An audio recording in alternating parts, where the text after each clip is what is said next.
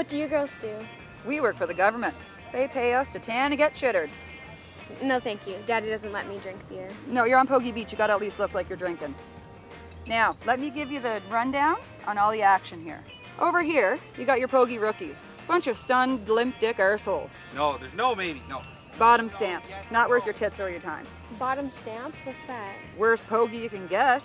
It's just a sniff above welfare. Can I bum the dirt off you? No, you ain't getting smoke off me. Oh. Over here, these fucking losers are on disability Pogey. Too lazy to get 16 weeks to qualify. I'm on the stress leave now. And you can't get them up over the dune anyways for a decent screw, because they're just hobbling all around.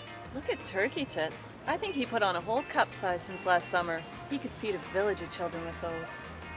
You're fucked. Who's that? That is Gary Gallant.